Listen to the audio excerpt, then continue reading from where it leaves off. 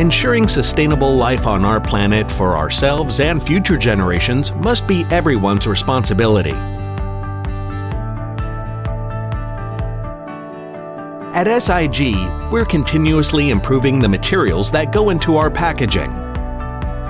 We want to do our part in contributing to the sustainability of our resources while answering consumer expectations.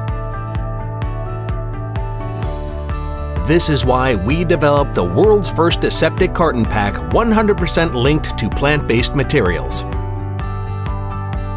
The main material is FSC certified paperboard. The aluminum layer has been removed.